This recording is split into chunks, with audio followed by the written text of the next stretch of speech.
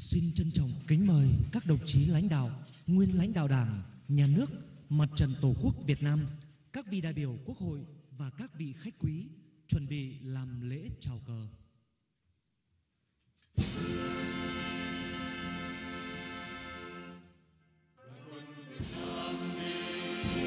chung lòng yêu thương bước chân